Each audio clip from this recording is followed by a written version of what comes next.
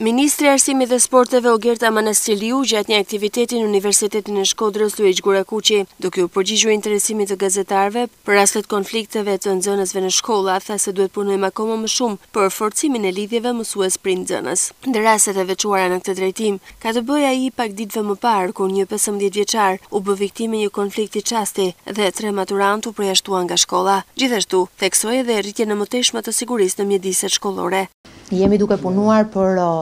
fuqizimin e mëtejshëm të një trinomi shumë të rëndësishëm, që është trinomi mësues-prindër,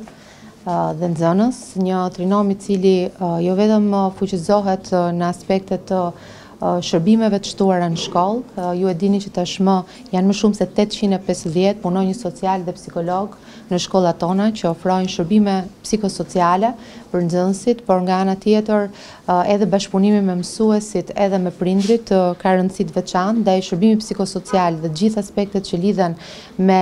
mbështetjen sa i përket edhe rrjetit të oficerëve të sigurisë në shkolla dhe ne tashmë kemi kemi marrë vendimin dhe jemi duke punuar për rritjen e numrit të oficerëve të sigurisë në shkolla, pikërisht për të bërë të mundur një rrjet edhe më të fortë të parandalimit të ngjarjeve dhe fenomeneve të padëshiruara në shkollë. Manastirliu theksoi se mësuesi duhet të ketë përgjegjësi të tjera veç mësimdhënies së përditshme. Tashmë do të kemi gjashtëqind e dyzet mësues të cilët do të punojnë në dy drejtime. E para, për sa i përket mësuesve të cilët do të koordinojnë të gjithë aspektet që i përkasin